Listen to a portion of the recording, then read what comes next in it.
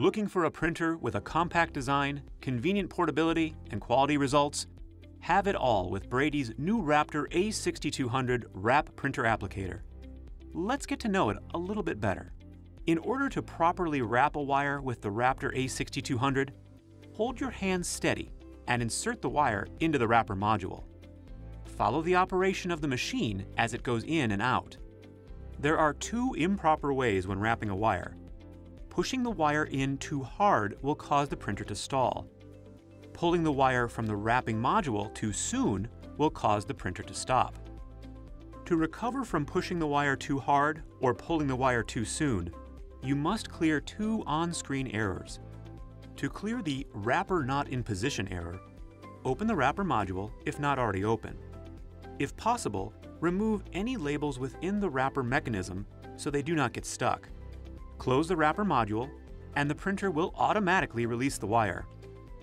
To recover from print error, head back to the home screen and press Load Supply. Then follow the on-screen instructions to feed one label. First, open the wrapper module, then press Feed Supply.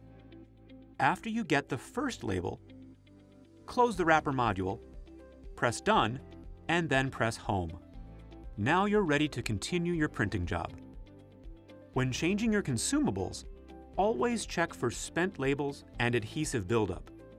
Starting from where the consumable was loaded, look all the way through the first drive roller, the notch sensors, and the frontal guides.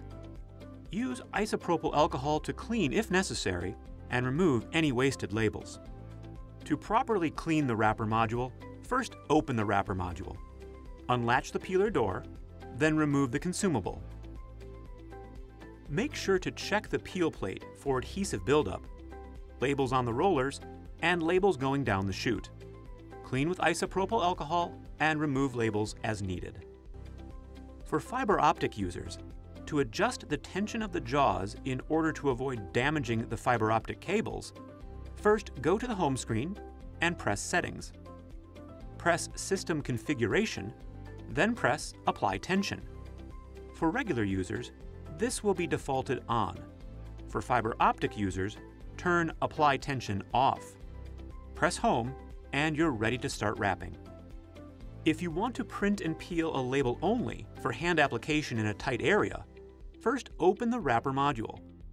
Go to the home screen and press Print Only. Now you have a label ready for hand application. See what else is possible with the Wraptor A6200 Wrap Printer Applicator today.